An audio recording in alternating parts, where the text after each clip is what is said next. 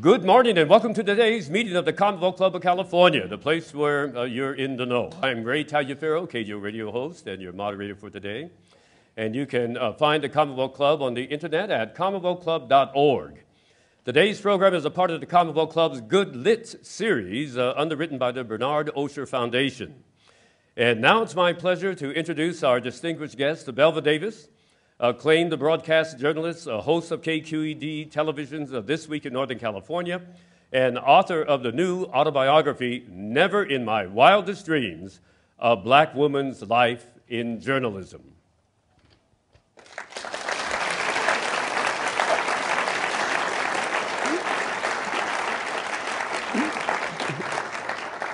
It's such a pleasure to be on this program with you, Belva. Thank you so much, Ray. I tell you one thing, if I were in your place, there would have been a table here. Because I would have needed it for a crutch, knowing you and all yeah. you know about this area and about what really uh, kept this community going for so very long. And that was a lot of interesting stories. Um, I'll just let everybody know I've known Belva for a long, long time. Time. Um, not to put age into this at all, but I've known her for a long time. And I've never, truly, um, known a person that is as multi talented as the woman uh, sitting on um, this, this stage with me. Uh, she is absolutely wonderful. And um, Belva, for you to have written a book, people will say, hey, you ought to get the book written. Mm-hmm. How on earth did you get it written? I was really forced to stop procrastinating. I started the book, uh, I think, in 2004, 2005. And of course, I've uh, been a host of New Noon programs, news programs, for many years. And the mainstay of those programs are interviews with authors. So I had interviewed authors for years, and I had this romantic idea about how one should be treated if you're an author.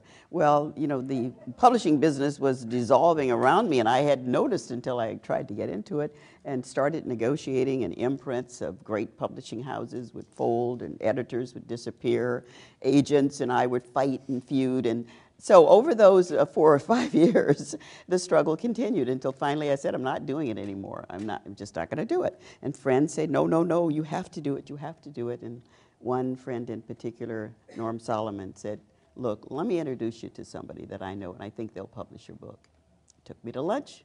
I met the publisher who's here today, and um, we made a deal within a few days on oh. April Fool's Day. We started out. By December, we had a book and now we have the book of the year, maybe even the decade. And, and it's my joy to be able to uh, talk with you on the Commonwealth Club program. Thank you, Ray. Oh, thank you very, very, very much. Uh, in the book, you uh, start uh, from the very beginning, and God said that there be a Belva. and uh, did you know uh, what the good Lord had in mind for you as a child, or at what point uh, did you decide that this was uh, the place where you were going to spend the rest of your life in broadcasting? That was a long ways away from the beginnings. Uh, I was born to a teen mom. Uh, in the Southern tradition, I was farmed out, as they say, to a relative. So I was sent to live with my mother's uh, middle sister. My mother was a baby in the family. And I had well, not much of it I can recall, but what I can recall of it is that I had a blissful, peaceful time. I had a mom who loved me dearly, who constantly told me that I was wonderful. And I guess till I was about three and a half, uh, the world was all rosy. And uh, fortunately, we don't retain, unfortunately, we don't retain, you know, all of our memories from that early age. And then she, uh, she contacted, contracted tuberculosis, and in a short period, oh. she died. And uh, then that's when I found out that she really wasn't my natural mom at all. And I was off to live with uh, relatives in a very crowded household. Um, nobody really knew me because my aunt did not have a close association with the people where my mom and my dad lived. And uh, they had a new baby. And so I became uh, the sort of silent person in that household for quite a long time. And uh, from time to time, I think by the time, well, I started school here when I was third grade or fourth grade, but by then I had lived in seven different places, mm. and uh, and it was uh, it was it's a lonely time, but not a cruel time, and not something that was not unusual in Monroe, Louisiana, or any parts of the South. That happened to children quite often because of all kinds of things, economics being one of them. Let me ask you something that I, I ask um, a number of authors who are writing uh, biographical material. Mm-hmm. Um, today, uh, when you look back, um, uh, how you got here and um, how you learned uh, to matriculate in a society like this, um, what gave you the strength, knowing the barriers that were there? Uh, and um, you know, I, I, refer to you as one of the most be- beautiful women um, uh, in our lives, but you're a black woman. And when you take a look at broadcasting, uh, um, in those days, they, they didn't have uh, any of us there, frankly. Uh, what made you think that you could cross that barrier? That was not a thought that just occurred to me when I was a child. When I was a child, I was concerned with survival. Uh, I was concerned with where I was going to sleep that night. Mm-hmm. I was concerned with whether I would have, I could make friends, whether I could break through the barriers of the various households where I was living. But what I learned from that was the ability to go within, to gain strength of being responsible for myself, uh, having the feeling that what happened to me could be changed by my own behavior. That was a marvelous thing for a child to discover because children are dependent people.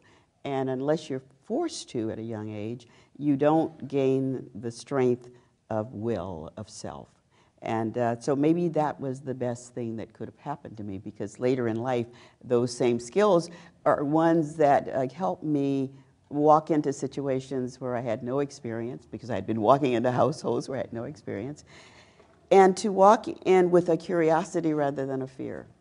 And uh, people who know me and have been my friends and my workmates over the years know that there are very few things that, uh, if it is interesting, that I won't attempt to find out more about, if not do.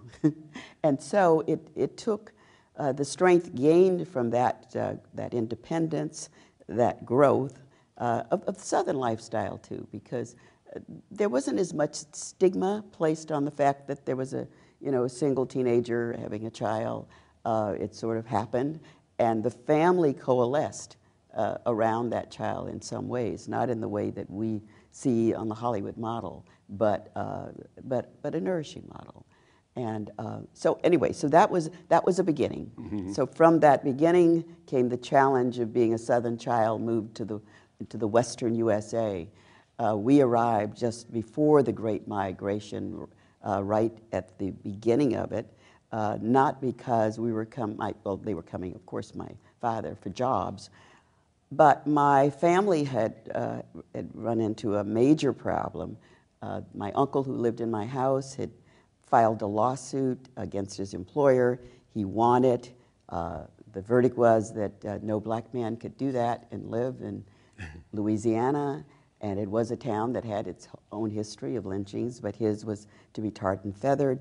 And my uncle was warned by benevolent neighbors that he should leave. And the men who lived in our house all packed up and um, got in the car and started driving to California. I'm not so sure my father was the leader, but my uncle was put on a freight train because he did not want to jeopardize the other men there. So we came out to California, and then, of course, the big migration started thereafter. But we came to a rather unfriendly West Oakland, uh, where we, we spoke differently, our names were different. We were chided to change our names anyway from some of the southern names that we had. And, um, but again, it, it, that was another learning experience. It was like being an immigrant going into a foreign country uh, because these were people who were to- totally different from those that I had grown up with. The interesting thing to me about the way you lived and you're explaining how you lived and the, the things that you saw actually happening is uh, where on earth did you find the strength uh, to overcome the stereotypical nonsense uh, that our society had had you didn't see too many of us on television. You didn't see very many of us, uh, you didn't hear very many of us on radio. Uh, and um, uh, it, it, took, and believe me, I know, it took an awful lot of courage for you coming uh, from where you came and with the personal history that you have with um, your family members and all, to say, no, no, wait a minute, uh, I'm, I'm, I'm going after this. This is something I really want to do. What gave you the strength to do that? Well, I think, you know, we've talked about these interludes that could have been negatives, but somehow the mixture of either affections or leadership that I saw and, and strengths that I saw, say, in my mother, who was a long suffering, silent, beautiful woman, and my father, who was, excuse the expression, quite a hellraiser, uh, who, who read the, the almanac for fun. that was his idea of learning how many rivers there were and demanding of us children when we were little that we know the capital of every city in every state. Uh, and I still don't know the answer to that. I'm going to do it before my book season is over. He wanted to know about the river that ran the opposite way, that did not run downstream but ran upstream. And we got into trouble because my brother and I could never figure out how to research that one. but, but in any case, it, it's, it's small things that happen with people who are not taught leadership, but somehow find that as part of the DNA of their being. And so I'm telling all of this because nothing happened overnight. Mm-hmm. I think all of us are like sand on a beach, a little bit here, a little bit there, until you, you know, get your little sand castle built. I guess. And, um, but it, it does take something within you mm-hmm. uh, to pull it all together and to look at the picture a tad bit differently uh, than other people have looked up to the time when you uh, had to confront the picture and you were, said to yourself, you're going to change the picture. I bet you, Ray, you probably could tell that story just as well as I could because you've lived the same kind of life. And that is because we did not see examples of uh, African Americans in high ranking positions. It, that was just not the norm. So if you were going to dream the dream that Hollywood, the media, the magazines portrayed, you had to envision yourself in those positions because you wanted to be like what the general media said was the good thing. So part of it came from looking at those realities and trying to figure out how you fit in. Now, if we think of film or stage or whatever is considered cultural activities, we were basically excluded. So we had the natural um, desire to become part of whatever it was considered the mainstream. And I think that too, you know, I was a reader. I, I, I read so much, I can't even tell you what I read or why I read it. I read whatever was available to me. And um, that was where, where I lived, really. Mm-hmm. I, I do know that as a youngster, I used to have a little flashlight that when there was a bedtime, but I would pull the covers over my head and turn on my flashlight with my book and read in the semi darkness uh, because it was such a great escape. And I think uh, in, out of you know, those writings and those uh, theories and uh, I'd say challenges of uh, watching characters overcome various things must have somehow also been part of this whole building block of getting going. What was the first real big, uh, you, that you had dreamed of doing it, you mm-hmm. thought about doing it, uh, and you thought that uh, the roadblock would be a little too big, but uh, somehow you were able to uh, get the navigation uh, through your thought, through your heart, through your soul. What was it that really triggered you to the stage of life that I can do it? Well, you know, you never really know you can do it unless you try to do it. So I had many opportunities for failure. I used to, um, I used to do as, as girls of my age. I would write in to those magazine things, you know, where they where you say write a paragraph and uh, send it in and win it, whatever it was, you know. Now, I never won a whatever it was, but I continued to write those things. And, and then I um, uh, met a, a, man who was a great photographer of his times, Chuck Willis. And through him, I met my husband.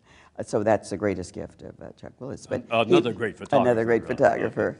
Uh, but anyway, Chuck was uh, a guy that took pictures at black social events. And remember, in this area, like in much of the other world, there were two societies. There was the black society, and it was a society in its own right. Accomplished people, doctors, lawyers, all things, but just separated because of their race. As, so on the social strata, there was the same thing, clubs and organizations. And he would take pictures that would go into black publications. And I started to write what's called his cut lines. That is, the lines that describe the event. And uh, I had an associate, the most famous lines that we ever used was, and a good time was had by all. that was an original of Ellie Spikes, a friend of mine. But uh, we almost always concluded our stories with a good time was had by all. And so through writing those cut lines for Chuck, uh, he then became the photographer for the leading publication of that time, national publication, Jet.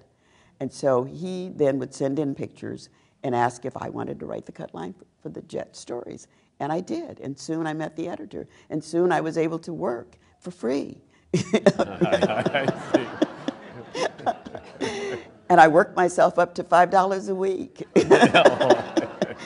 so, um, so it wasn't. I mean, so I, in a sense, it was the closed society uh, that we lived in that gave you the courage to uh, want to record some of the history of your own community, which gave me some skills that when it came time to try to get into major media, I had learned to write a little bit. I had learned to, at the radio stations that were totally black programmed, not black owned, um, read my columns, mm-hmm. speak a little bit. And those things then said to me, well, gee, if I can speak here at, which was then KSAN, which was a rhythm and blues station. If I can speak here, I could speak anywhere. or if I could write here, I should be able to write anywhere. So I didn't um, think of it as an impossibility because it wasn't inventing something new. It was just removing the color line that kept me from crossing over. Belva, we have a lot of wonderful people in this um, beautiful audience. And so you have a lot of questions. Uh, here's one of them. Um, who are some of your role models? Oh, many. I, there are lots of them in this room, and I can tell you that. But, um, you know, over the years, uh, at, various moments, uh, I would have to say, by the time I got uh, into high school, my teachers were very, very important in helping to shape my ideas of what I wanted to do. Um, I really uh, so much respect for a man named Carlton Goodlett, who was the publisher of the Sun Reporter newspaper and who fought many battles on my accord and everybody else's accord. And then there are the big heroes, you know. Mm-hmm. Uh, Maya Angelou's been one of my friends from the beginning and is right on this book um, because she wrote um, a lovely piece that we found quotable to put on the cover of this magazine and throughout my writings, she um, continued to push me on. Um, and then there are people, of course, like the, having the privilege of meeting uh, Martin Luther King, uh, having the privilege of getting to know a side of Bobby Kennedy that I didn't think others knew well, uh, a very humane side and a conversion in that person. So there were so many uh, wonderful people that I was able to be supported by, nurtured by. And we have another question. Uh, what do you think of the state of broadcast journalism today? And um, uh, has it um, uh, been able to make it better or worse? Um, is broadcast journalism today better or worse than uh, it was at the time that you started? Journalism isn't worse, management is worse.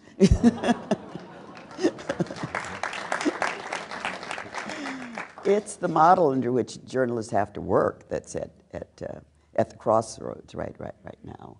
Um, we're doing our work uh, in a totally different atmosphere. I mean, when I started, I, I, my, my assignment editor was a guy named Fred Zender, and um, I learned a lot from him, even though he was the assignment editor, not my, my teacher. But, you know, we wouldn't think of in a critical story uh, going on air without the old three sources. You know, you had to at least have two to get past the first edit right. Uh, but, you know, having checked our facts carefully, um, that was the model. Now, if it's a rumor, you can say it. you don't even have to say it's a rumor. you can just say it. Uh, and um, that's not good. But that's forced on us by the ever moving uh, news cycle, which is forced on us by technology, mm-hmm. which is forced on us by commerce. And so there you go. You know, it is not the way I would like for it to be, but it is what it is because of its evolution. But I also think that things are cyclical. And I think at some point uh, we will all want to feel much more comfortable that what we're hearing and digesting has real foundation. And what was the scariest moment uh, in your career? Oh my God. I had so many of those, Ray, that I don't even know how to how to count them. That's uh, your second book, right? That's my second book. But being the quote unquote girl, and uh, I, I, I always say that you know I was the first black woman reporter. Well, I was the first woman general assignment reporter. So I had to deal with this whole business of gender and race together. So there were many moments where I was put to the test. There were many days at Berkeley where I didn't think during the days of the student uprising. And one of my really scary days was being at Sproul Plaza the day they, you know, they dropped the tear gas from the helicopter down on the plaza where we were all trapped in by police and, uh, and National Guards members, so we couldn't get out. And I can continue on to being, you know, in, in uh, Kenya and being on the tarmac there, challenging a government official, not knowing if we're going to get out of there or not. uh, or, and, and, small things like the number of, you know, scary airborne aircrafts and oh. balloons and helicopters and all, all, of those things that I used to do to prove that I was one of the guys. Yeah. um, who were you the most nervous to interview and okay. why? Well, there's a story in the book about that, and uh, that was a one day when I quote unquote lucked out. A very famous man, Frank Sinatra, known for being short tempered with the press from time to time. I was sent out, to, I think we, I keep trying to remember, but I'm sure it was a Cow Palace, where uh, he was performing. And he had a trailer uh, inside of this big cavernous place. And all of the male press people were there with their photographers, and I was there. And so everybody was trying to get his attention for, you know, some sort of one-on-one. And Mr. Sinatra walked to the door of his trailer and with the, you know, the obligatory cigarette on the lips, uh, stood and looked out at us like this. And finally he said, hey, girlie, you. and so he invited me in. Well, my knees knocked up those rickety stairs, and I got to, you know, inside the trailer, and I had my little uh, radio t- uh, microphone when I was getting it out, and my hand was really shaking. And he asked me, What's wrong with you? And, and I said, I'm, Mr. Sinatra, I'm sorry. I'm just nervous. I'm just nervous. And I was going on like that. And so he stopped. He said, uh, Just stop. And I stopped for a minute, and he said, Don't worry about being nervous. He says, You know, the first day I walk out on that stage and I'm not nervous, that's the day I'll quit. Whoa. And I took that, true or not, to heart. so that was really a nervous day. um, very I- interesting question. Uh, could you discuss the similarities and differences you see between the civil rights movement and the current battle over same sex marriage and other rights? Rights are rights. It just depends on the title that you put on the other side of rights, for whom. So I really think that any group of people who are deprived of their equal say in our society should be protected as well as, on the same basis of equal treatment.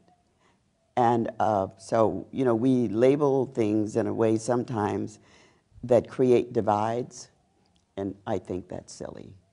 Because if you're on the outside of the circle, uh, your turn may come. And what you want is a whole society that supports you.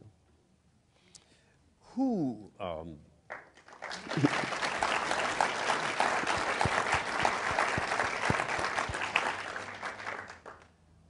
who did you really wish uh, to interview, at, but it was very tough for you to get to him or her?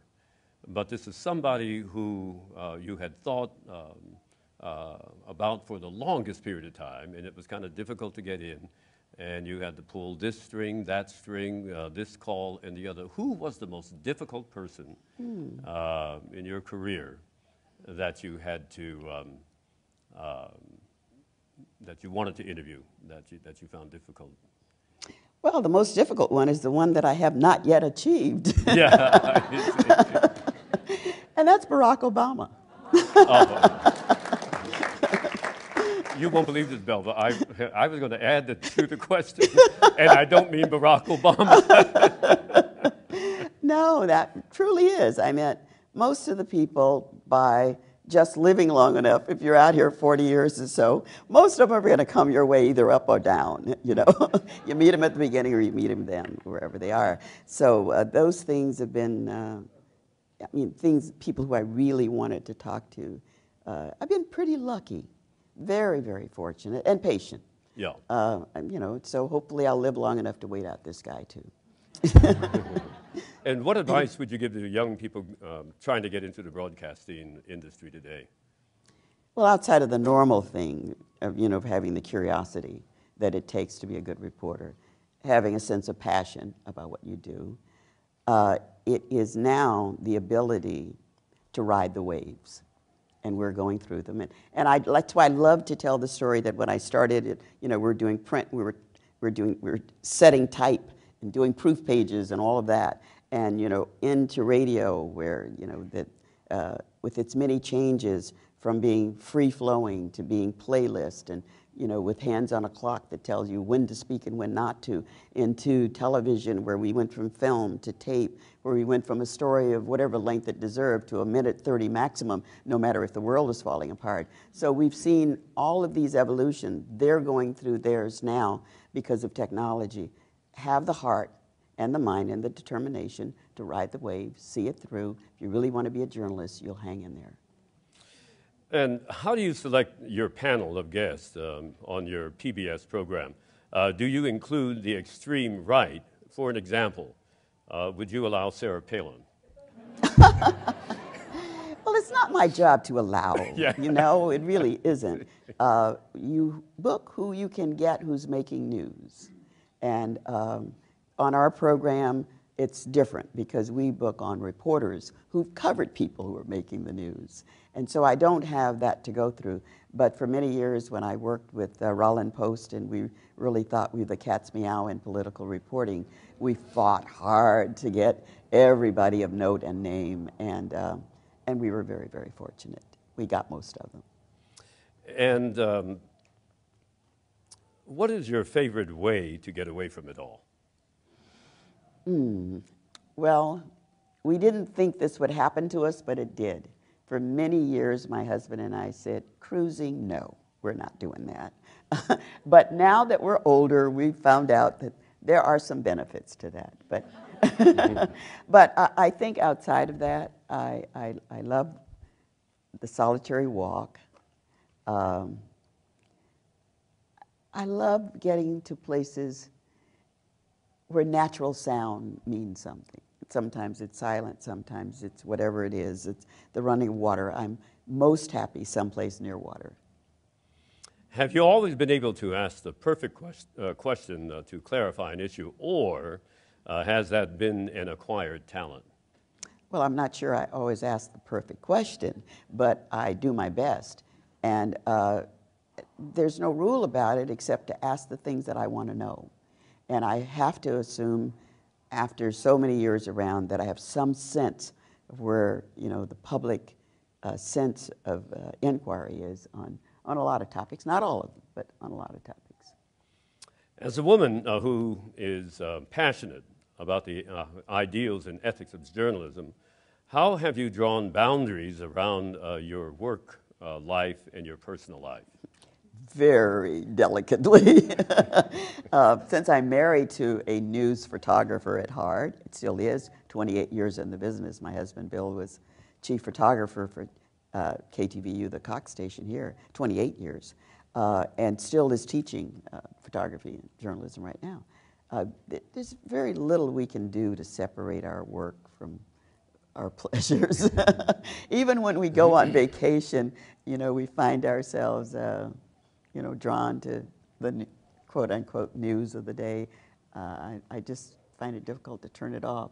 Even when we don't understand the headlines in the newspapers when we're traveling, we watch to see what people are reading with, with the most eagerness. I'll, I'll, I'll be honest with you, Belva. I've, I'm going through all the questions coming from the audience. There are four of them. I'm going to have to check who sent them. Uh, how did you and Bill get together? And, uh, okay. yeah, but we'll, we'll, we'll, let that go for Okay, all right, good, good, for another time. Well, would you please tell the story of meeting Martin Luther King uh, for the first time?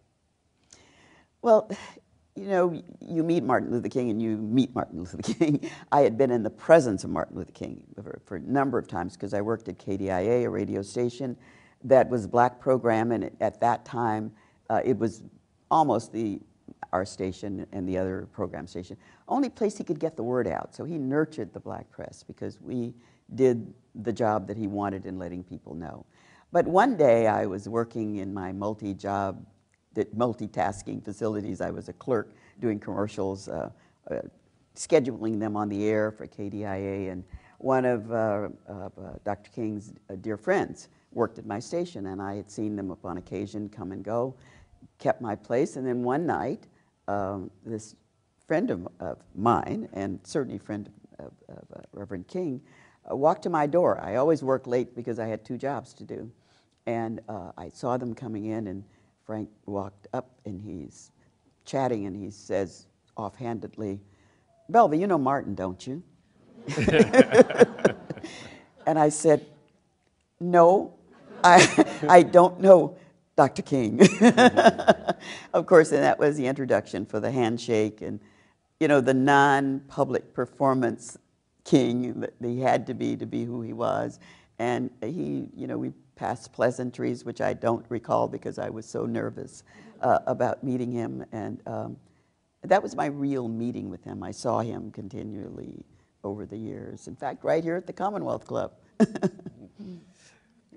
Uh, other than interviewing uh, Barack Obama, what person or event would you most like to cover? Hmm. My, my. You've stumped her. You have. you really have. Uh, what is coming up that I, you know, it's hard for me to think about that now. Um, can't tell you. Um, okay. Uh, well, while you're thinking about, uh, thinking about that, uh, mm-hmm. who were you the most nervous to interview and why? Well, I just told you that one. That was oh, Frank Sinatra. In terms of being nervous, downright nervous. Um, the one thing that happens to a reporter is that when you're on a story, it's like you have been, you, you transcend the moment you're in. You are no longer whoever the shaky girl you might have been or woman. Uh, you, you're on a job and, and almost some feeling of invincibleness to, to uh, that you can do whatever it is that you're called upon to do at that moment. And then later you may say, God, how did I ever? Why did I ever? You know, yeah. all of those things. I, I, was looking in the book trying to find something else. And uh, thought of a moment when I was in Israel, and, and my producer friend Roxanne Russell and I were walking around, and we were told repeatedly that we shouldn't walk in a certain part of Jerusalem, but we felt we were reporters and we wanted to know what it was like, and so we wanted to see the other side, as they say, uh, and, and, and so that was, wasn't so smart. And I, another really almost frightening but hurtful more moment was being at a um, march in Georgia where the Klan was very strong. Uh, it was a uh, terrible time, and I had decided that uh, we were reporting on the people who'd come down to Georgia for this march, that I should get the other side. And my cameraman looked at me in disgust.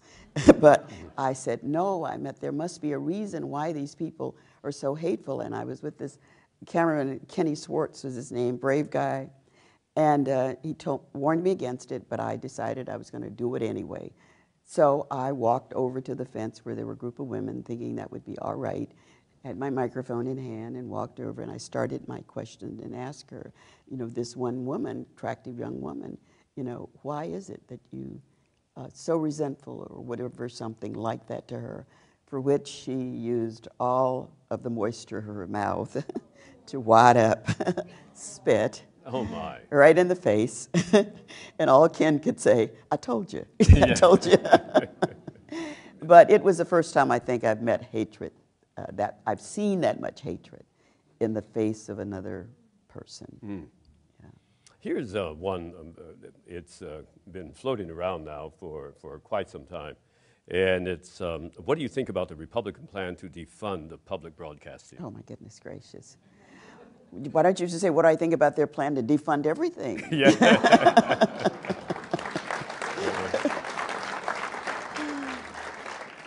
Well, I, I trust there's going to be more careful thought with. I th- I, to me, this is all uh, setting the stage for uh, whatever the play is that they are going to write as they go forward. And but I do think that these are mostly gentlemen who are there representing their fellow Americans who are back home, who are going to have needs and going to want the best for their children and their families. And and I trust that they will do what good Americans should do. They will communicate with them. And um, I am letting everyone listening know that you're listening to the Commonwealth Club of California radio program. And our guest is legendary broadcast, the journalist Belva Davis. Now, uh, Belva, you had a co author, mm-hmm. and the co author is Vicki Haddock. And I'd, I'd, like to invite her up, um, uh, if you please. Uh, Vicki Haddock worked closely with Belva.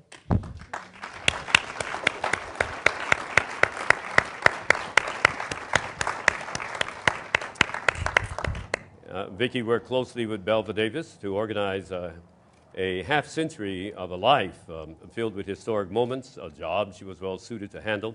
Ms. Haddock spent three decades in the Bay Area, journalism, working as a reporter, editor, and occasional columnist for the San Francisco Chronicle and the San Francisco Examiner.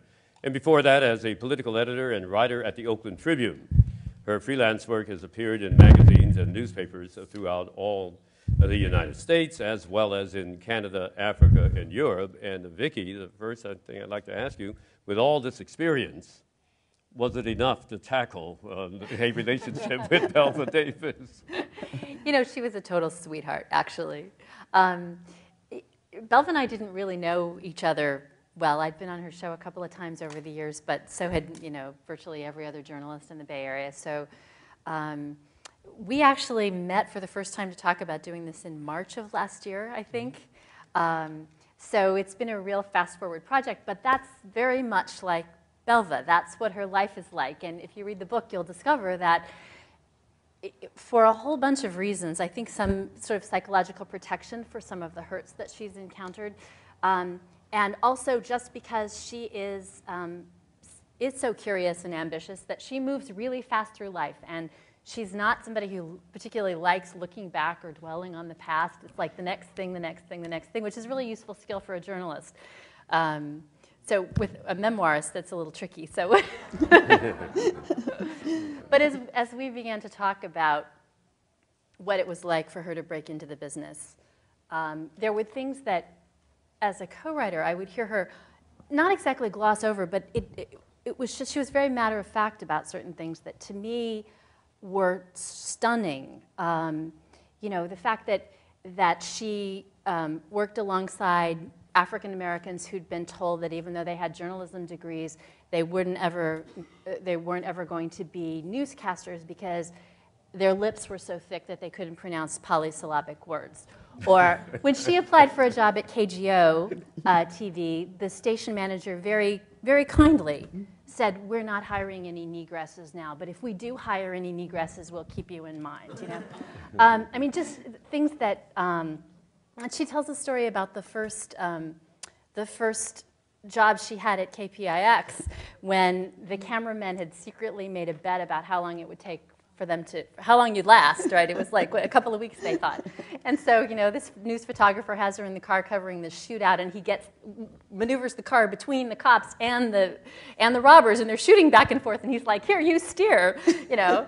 Um, so there was a lot of hazing, a lot of, you know, she would show up at events and uh, to cover something, and someone would say, "Oh, you're here to do the ironing," you know. So it was it was just apparent to me that um, she doesn't dwell on a lot of this, but the obstacles that she's had to overcome are are just amazing, and she's done it, and she's done it with complete success and grace. So it was it was a great story to tell.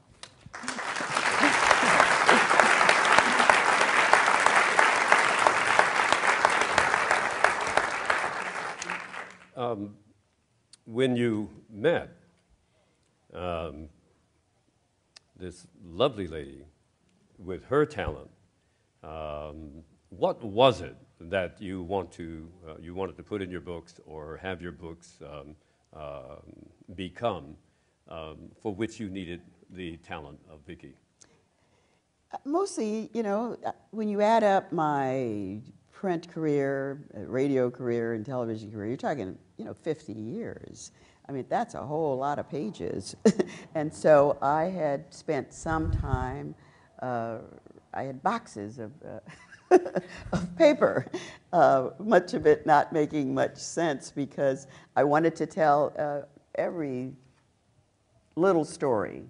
And trying to get a sense of what it was important uh, was difficult for me to do. What, what to leave in, you know, what to put in and what to leave out. And then uh, PoliPoint Press made a big decision that, that really colored that whole question because they said we only want 80,000 words, which was a little over the 200 pages in something that we wrote. Well, right away, that tells you that you're not going to get, maybe if you looked at those boxes I had at home, if, if I were to count them, maybe 400 or so that I had just been writing bit by bit, little by little over the years. And uh, I just needed somebody to help me focus and decide what, you know, sh- should be included. In fact, tonight we're standing and I'm looking up something because I, there was a story about the trip to Israel, and I was looking for it in the book, and I said to Vicki, "My God, Israel only got a page in here." and of course, that's because we kept cutting it back, cutting it back. yeah. The questioner writes, um, I'll bet that the person that Belva would like to interview now is Mubarak. Oh, God, who wouldn't? who wouldn't? of course, yes, indeed. You've often referred to speaking to prisoners. Um, uh, they are part of your fan base. Um, That's true. uh, do they have um, a, a, a, useful insight? They, you know, there's a there, well, there's a group at Soledad Prison, sort of adopted me, and I get a lot of correspondence. We write a lot. There's a reason for that, though. Early in my career, I was involved uh, with a prisoner named Bob Wells, who was California's longest-term prisoner, served 47 years, uh, went in for stealing a suit of clothes stayed in prison for a long time. The warden there finally one day talked to me and said, You might, might want to do a story about this guy. I'm about to retire. He's old. Uh, he probably should be somehow allowed to live some normal days. And anyway, that started a crusade. I wrote a story about the guy, became uh, sort of internationally famous. He was soon paroled after all of those years. And uh, so that, of course, went through the prison system that I had interviewed somebody who gotten out after 47 years. So we're talking now about three strikers who have no real hopes of getting out. Many of them non felony convictions. And those are the guys that I talk to. The ones who are there, not somebody who's killed or raped someone, but who've done things that are considered felonies and then can commit a minor crime, stealing a loaf of bread or a pair of socks or whatever have you. And there's some in there for that. Uh, and they started writing to me about the amount of money that was being spent on their health care because they're all aging, uh, on keeping them locked up by the thousands when, uh, you know, there should be some way that they could be rehabilitated or at least not kept in maximum security. So I started following that story. I'm still in the midst of it. I still get my regular letters uh, mm-hmm. from them. But the warden at Soledad did something that he had not done before with our team He invited me after requesting interviews, invited me to come with a crew, told me that I could talk to anybody I wanted to, put us on the prison yard with a couple of hundred inmates, and said anybody who lined up and wanted to talk to us, it was fine. And we did. For a whole afternoon, we interviewed everybody. It was a three striker who wanted to talk to us. And one of these days, some of that got on the air, but one of these days I hope to produce a documentary with some of that material. Um, that would be wonderful.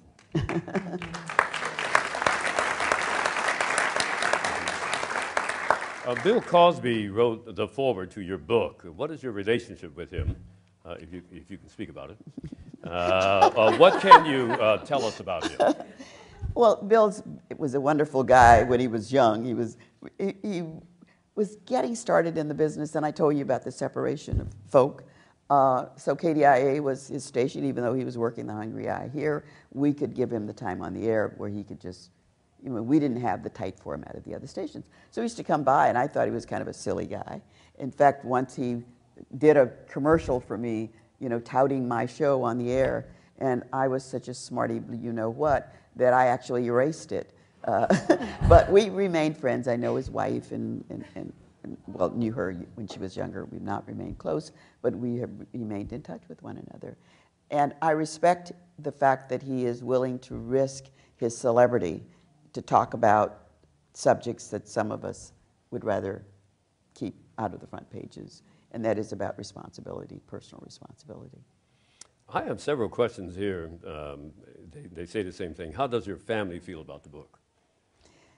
My children were involved, and my husband too. Uh, every step of the way because this is their life, and I wanted their opinion. And um, it was hard. Vicki will tell you, I think that was probably one of our most difficult periods. I mean, I think to the extent that one of the things Belva and I talked about is, particularly for women, I'm sure it's true for men too, but I think particularly for women, um, there's that balance between career and family, and it's very hard to be really successful in one area and keep your life in balance. And so, one of the things that I actually really respected Belva for and really like about the book is that she was, I think, very honest, very willing to go there and talk about um, the price that her family sometimes paid for um, for her career and for her successes. And um, I mean, from some of the most dramatic examples, like when she covered the Patty Hearst kidnapping, and there were some, there was a white biker gang that presumed that since her name was Belva Davis, she must be related to Angela Davis, and in some very weird, twisted logic, they decided that they would kidnap her teenage daughter in retribution, and so the police came and warned them, and they, they ended up moving from El Cerrito to San Francisco to find a safer place. Um, so there, there are some very specific, dramatic ways that, that um, that her children paid. And also just in terms of the many demands a journalist has on your time. It's mm-hmm. very difficult to be in two places at once. And so I think this book is a really, uh, uh, you know, very honest look at what that struggle is like and, you know, in some ways will always continue to be. Well, and I think uh, Vicki has two daughters, so, and she's a journalist, so she has, you know, her own understanding of what I was going through to maintain the career and also my family. I, I, will just add one little anecdote to that. I, I, was so indoctrinated by Hollywood and what was perfect. I used to actually, the news is on at six, so you know you're late getting home. I would actually sometimes wake my children up to have dinner at the table. Even though they had an early snack with their sitter, I wanted us to be the perfect family. so you do try very hard, you know, in whatever silly ways to keep life as normal as possible. And she knows that that's a struggle. um, three of the questions uh, ask um, exactly the same thing. What was your most surprising aspect of having a successful journalism and broadcasting career, and has it been what you envisioned? I can't say I had a vision. I had always had hope though, that the power that I saw um, the media exercising during the 60s and 70s over the civil rights movement and over human rights uh, would continue to, uh, to be expanded and explored so that stories could be told, and by that, we could come together as human beings uh, uh, on equal footing as much as life will allow. So um, I guess I just had this, this idea that if the people knew, they would do something about it. And uh, for a time, that was absolutely the rule of the land. I mean, you know, you could get a cause in a soapbox, and uh, people would come in some numbers. Uh, organizations would form, and we'd petition uh, institutions and government, and change would happen. Uh, it is harder to see that now uh, because we're all going our own way with our own little slice of media. we don't get a real consolidated message of us as a people because we've decided that we wanted to have this kind of separation. At one point, I think we're going to want it to get to know our fellow human beings no matter where they live. Broadcasters, um, like the, the, great, the great ones like you, over this period of time, the technology has changed. Mm-hmm. Um, and I've got a couple of questions here uh, about the technology. Is there something that um, the technology has changed into or that you have to use that you really wish uh, you didn't have to? Um, the technology has changed. Um, uh, we, we, don't uh, pick up phones, we use our cell phones, we use computers now, and so forth. Has it all changed for the better? Well, well, you know, you can't say, you like what you're used to. so it's mm-hmm. hard to make a decision whether it's the good or the better. But I do, I am really annoyed, that's all I can say, when I see young people sitting at, across from one another in a room and not turning and speaking to one another, but instead they're doing this. and I'm thinking, what are you going to look in his eyes or her eyes? You know, when are you going to catch that smile? When are you going to see this person as a real human being that you want to be with if you're doing this all the time? So that bothers me. Obviously, doesn't bother young people because that's the way they communicate. But I think one of these days, they too will realize that maybe there's a deficit in, in getting those cute little messages out.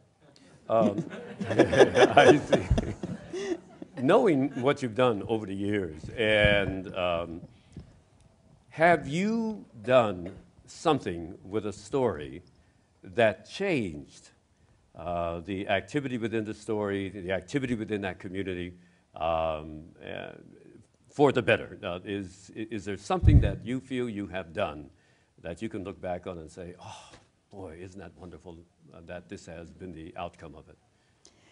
Well, if I could take out you and put we, there are a number of things. Uh, along with my producer, I worked on the very early stories about breast cancer in women. Got into a lot of trouble with, you know, all the way in my company up to the president about that. Um, I uh, worked uh, quite early on uh, to uh, bring to light the facts of the AIDS crises. I did the, I, I'm very proud of the fact that the first videotape recording describing AIDS and testing, uh, I was uh, asked to work with Dr. Volberding in putting that together. And I walked down the street many times when men have walked up to me, and I swear, and have said, Thank you for saving my life. And I've been so proud of that, of having been having the good fortune to, uh, to be able to do that. And you know, seeing Bob Wells free, even though he wasn't a happy man, mm-hmm. he was still out. I mean, there have been so many opportunities given me because of this business that it solidifies my idealism about its power. A um, couple of questions uh, to that um, point.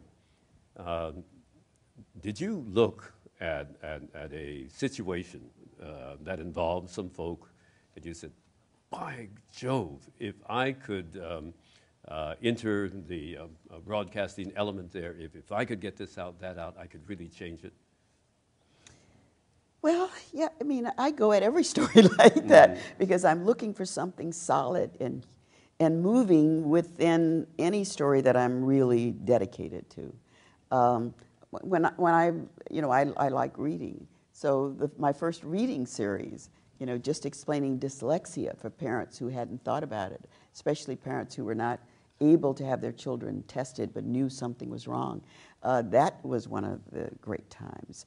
Uh, I worked on stories about Native Americans who were living in horrid conditions here. That's how I got to know Bobby Kennedy because uh, he too had that same interest. It was great to go to those reservations where the water was not fit to do anything, where they were drinking and uh, washing their clothes and everything in the same dirty ponds, just up in Ukiah. I mean, not way far away. Um, so I've been allowed to use this tool called journalism an awful lot to, um, to satisfy my own curiosity and hopefully to help other people. Um, if you were given an opportunity uh, to um, set up an interview with three people you have not interviewed, um, you know, like getting in there with President Obama or mm-hmm. someone, what three people uh, in your life or in, in business or in politics or in medicine, what three people would you really like uh, to get to know? Well, it's going to really, you know, just sound trite because every reporter is going to want to interview the guy of the moment. And you just said it, Mubarak. Who wouldn't want to yeah. interview him, you know? So you definitely want to. I, am this is a silly kind of a thing, but uh, you know, I've been friends with Leon Panetta for a long time. I'd like to know what is it really like to head the CIA, and have him answer honestly. I mean, there are things, you know, crazy things like that uh, that that I think about doing. Um, I, I think, although my good friend Judy Woodruff has already done it, I've always wanted to do. I, I, I knew uh, uh, this woman quite well when she was the first lady of California, uh, and I've seen her over the years. But I've always really wanted to know if Nancy Reagan was the power that we thought she was, if she was really the power behind the man. Uh, it's just a curiosity because uh, I was lucky enough, you know, to be uh, one of the reporters that she befriended when she was here, and she would occasionally uh, because of Nancy Clark, who had been a reporter at one time, would take us to the Capitol to fill Ronnie's jelly bean jar, or I'd get invited to dinner and watch him run his, his, uh, his, his uh, toy trains around the track. So, you know, you see this side of him, and you know that he's idealized um, to the degree that people say he should have his own mountain. But I always wondered, uh, wondered if she really was the, this velvet gloved lady that we saw or, or really a woman of steel and insight behind the scenes. With all the people that you've spoken with, is there someone you wish, really wish, you might even pray, oh, please give me an opportunity to go back um, because there's something you didn't touch on or you would have taken a different direction? Um, is there someone you wish that you could uh, speak with again? Now this is going to, this probably tomorrow this answer may not be the same, but, but this was a, a, a, rare moment that I had with Linus Pauling when he was at Stanford. His office then was in a little trailer. I don't know why he was in a trailer, but it had a kerosene heater in it. I can tell you that it was the hottest place, most uncomfortable place. Here, this wonderful man is there, and this is where he's working. And I just caught him on a day when he felt like chatting. Uh, what I took away from that, that's been a lifelong habit, is taking too much vitamin C every day. Yeah. I do. I do. He told me if I took vitamin C every day, I'd live a long and healthy life. Well, there and you go. there you go. But he was just a charming, delightful man. And I wish I had realized, uh, you know, the privilege of being with him because he wanted to chat uh, for an hour that I had a recording of that and could somehow relive it and sift through it. He, I don't think he talked down to me. I think he just talked because he felt like talking. you have um, some wonderful people in the audience who are trying to write a book themselves. Um, what encouraged you the most to finally get it started? Ask Vicki. Uh, Vicki.